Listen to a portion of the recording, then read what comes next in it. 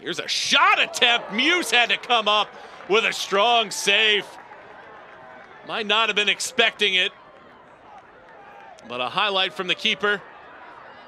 Now, a big issue. Bailone bags the team's seventh. He's got a brace. San Antonio with a club record seven goals in an annihilation of Charleston. Seconds after Trey Muse has made an important save, Augie Williams loses the ball. There's a quick counter-attack, and he's all on his own Bailone.